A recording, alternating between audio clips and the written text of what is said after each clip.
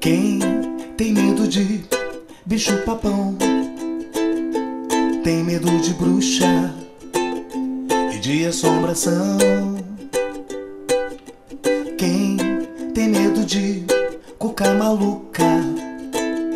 De bicho que assusta? Não tenha medo, não. A cuca falou que o bicho tem medo de escuro e a bruxa pediu pra ninguém ir porque a dona Cuca tem medo também, eu juro.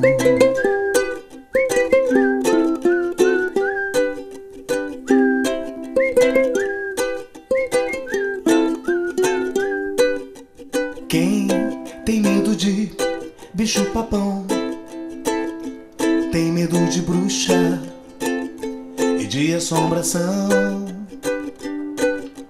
Quem tem medo de cuca maluca, de bicho que assusta, não tenha medo não.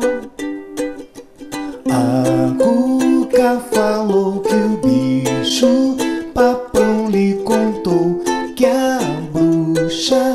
tem medo de escuro e a bruxa pediu pra ninguém ir porque a dona